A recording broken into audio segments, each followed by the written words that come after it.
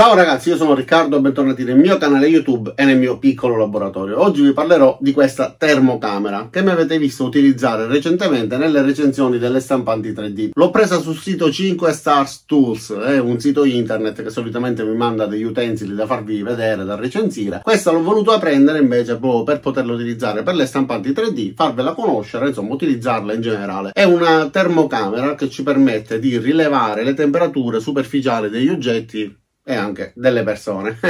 allora, ora la guarderemo da vicino, vi lascerò ovviamente il link per poterla comprare, vediamo se riesco a farmi dare anche un codice di sconto in modo da farvela pagare un pochettino di meno. Io ovviamente ho avuto un prezzo molto più agevolato perché c'è una collaborazione con il venditore, però è un prodotto per il quale sinceramente ne vale davvero la pena. L'ho provata, già la possiedo da circa un mesetto, ho fatto diversi test e per un, un utilizzo non professionale mi sono reso conto che effettivamente va bene. Può essere utile per diversi ambiti, mm, per trovare per esempio cavi elettrici surriscaldati, per vedere quale parte di una stanza è più o meno calda, fredda, eccetera. Insomma, mm, i campi di utilizzo sono davvero tantissimi, inutile che ve li elenco, però è davvero molto molto utile. Ora vi faccio vedere il funzionamento, vi faccio vedere le caratteristiche, eccetera. Iniziamo.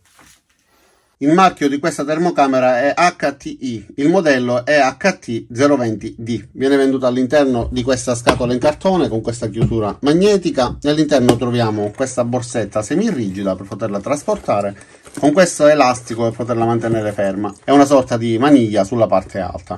Questa è la termocamera già accesa, nell'impugnatura ci vanno quattro batterie stilo, si apre in questo modo, si inseriscono e si richiude facendolo scorrere.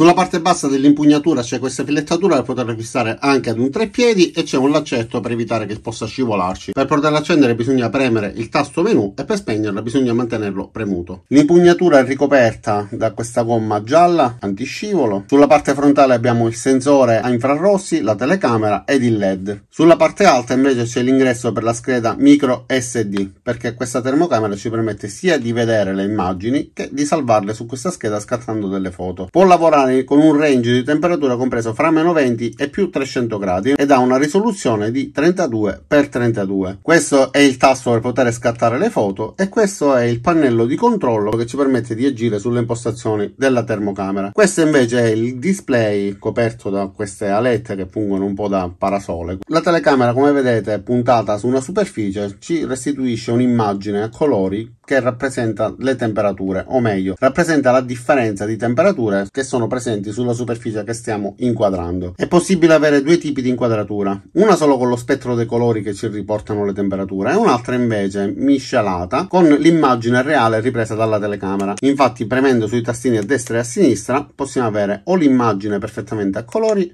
oppure gradualmente mixare, miscelare i due tipi di inquadratura e questo ci permette di avere quindi la possibilità di puntare perfettamente su una superficie dopo che abbiamo stabilito quale deve essere il punto. In questo caso dato che gli oggetti sui quali sto puntando la telecamera hanno su per giù la stessa temperatura ovviamente non abbiamo una grande differenza di colori però se metto la mano davanti come vedete già mi restituisce una temperatura diversa quindi l'immagine che appare sul display è completamente diversa e mi indica in rosso la parte più calda. E anche se poggio la mano su questa superficie e poi la tolgo, sulla stessa rimarrà il, il calore della mia mano e la termocamera come vedete rileverà il calore presente che man mano va diminuendo ovviamente perché si raffredda. In realtà dal colore che vediamo sul display fa vedere con un colore o un altro la differenza di temperatura fra una superficie ed un'altra.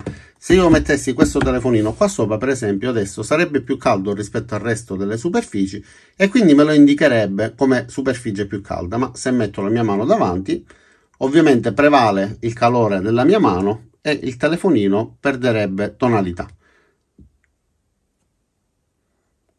quindi in rosso appare la temperatura più elevata. Adesso io farò fare un lavoro a questo telefonino in modo da poterlo surriscaldare facendogli produrre un video. Quindi in questo caso gli richiediamo un lavoro al processore che sicuramente surriscalderà lo stesso dispositivo e vedremo fra poco la differenza. Allora nel frattempo guardiamo il menu. Allora abbiamo la possibilità di entrare all'interno di un menu che ci permette di agire su diverse impostazioni questo per esempio è il menu che ci permette di cambiare il colore che vogliamo vedere sul display in base alle misurazioni. Premendo su Select abbiamo la possibilità di variare in quel caso era su una scala di colori che vanno dal blu al verde, al rosso, arancione, bianco, eccetera. Questa è una scala di colori che parte dal nero e arriva a bianco, passando da blu, arancione, giallo, eccetera. Poi abbiamo la tonalità che va dal bianco al nero e la tonalità che va dal nero al bianco, per poi tornare insomma a quelle che abbiamo già visto poco fa. Quindi utilizziamo questa con il verde, che è quella che mi piace di più, e vediamo le altre funzioni. Abbiamo la possibilità anche di avere dei riferimenti perché la temperatura va fatta in base al tipo di superficie che dobbiamo misurare. Nel frattempo guardiamo pure il telefonino che come vedete si sta riscaldando molto di più rispetto a poco fa perché sta lavorando quindi adesso ci restituisce un'immagine con queste parti più rosse poco fa era tutto verde. Allora torniamo al menu perché nel frattempo il telefonino avrebbe finito, quindi avrei perso di farvi vedere questa parte. Quindi dicevo, in base al tipo di superficie che dobbiamo misurare, dal menu possiamo impostare dei valori che sono riferiti nell'ultima pagina del manuale di istruzione, ma si trovano anche sul web e quindi impostando questo valore possiamo avere una misurazione molto più accurata. Possiamo impostare l'orario, la data, questo è il numero di immagini salvate nella memoria, la luminosità è possibile variarla perché in esterno, per esempio, se non mettiamo la luminosità al 100% si vede ben poco ed è possibile diminuirla fino al 10%, veramente molto ridotta, quindi consiglio di utilizzarla al 100% anche se questo richiede ovviamente un consumo di batteria sicuramente molto più elevato. Insomma, diverse impostazioni, però anche lasciandola con eh, le impostazioni praticamente di fabbrica si riesce a utilizzare perfettamente. Abbiamo la possibilità quindi, come abbiamo detto poco fa, di scattare delle fotografie ed è possibile scattarle sia in questo modo con lo spettro di colori, appare la richiesta di salvataggio con il tasto menu corrispondente alla posizione di yes, la salveremmo Invece premendo il tasto select, in questo caso che corrisponde al no, la cancelleremo, quindi salviamola, in questo modo viene salvata sulla memory card e la stessa cosa se utilizziamo l'immagine miscelata, quindi l'immagine termica con l'immagine ripresa dalla telecamera normale. In questo caso verrà salvata con l'immagine sovrapposta, quindi salviamo anche queste. Adesso facciamo la prova, per esempio, con questa pistola per collo a caldo.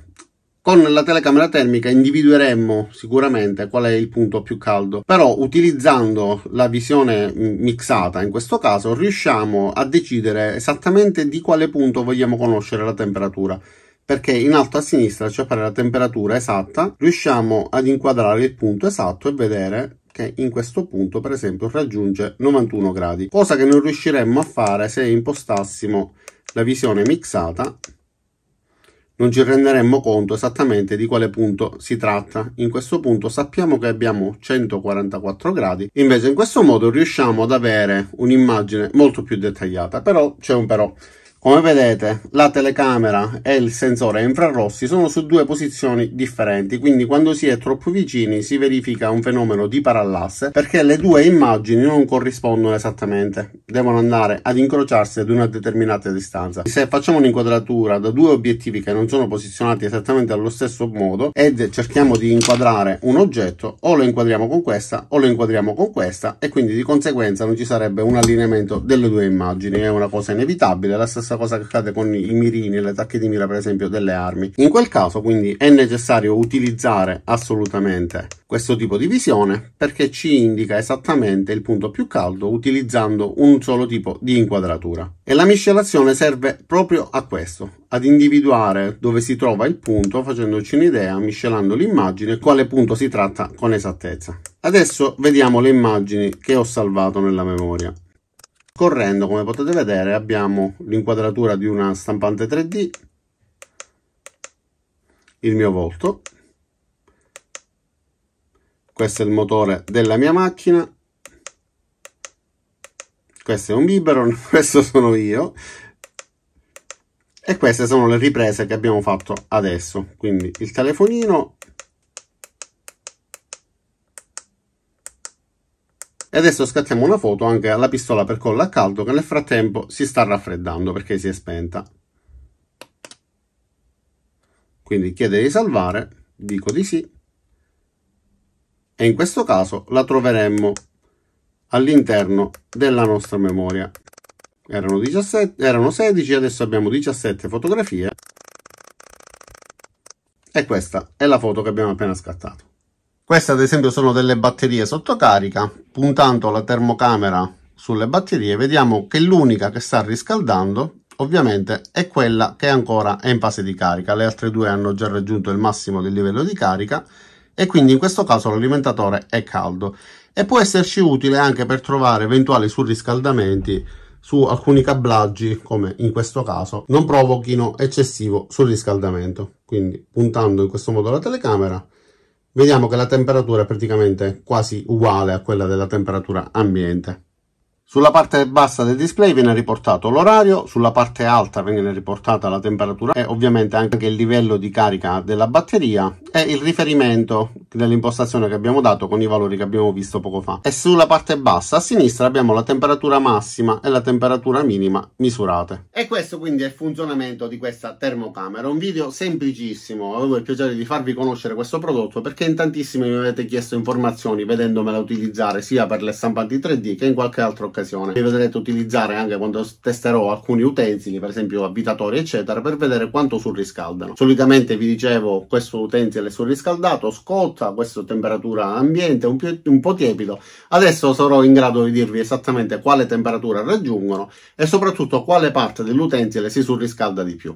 È un oggetto che ho acquistato che mi piace farvi conoscere perché so che potrebbe essere utile a tanti di voi sia all'interno del laboratorio che anche per quanto riguarda l'utilizzo domestico perché spesso può capitare per esempio con gli impianti di riscaldamento si abbia necessità di mh, trovare per esempio i tubi da dove passano eccetera. E con questa termocamera anche attraverso le piastrelle siamo in grado di vedere il percorso dei tubi siamo in grado anche di vedere come si diffonde il calore all'interno di una stanza quindi quale parte della parete è più o meno fredda eccetera è molto versatile sicuramente non è indispensabile, però mi avete chiesto informazioni e ve la volevo fare conoscere. Il prezzo si aggira su per giù attorno a 180 euro, ma vediamo se riesco a farvi avere un codice di sconto. Detto questo, non mi resta che ringraziarvi di aver visto questo video fino in fondo, vi invito ad iscrivervi al mio canale, mettere mi piace al video se vi è piaciuto e l'avete ritenuto utile, cliccate sulla campanella qua giù per ricevere le notifiche dopo esservi iscritti e ci vediamo ai miei prossimi caricamenti. Ciao da Riccardo e a presto!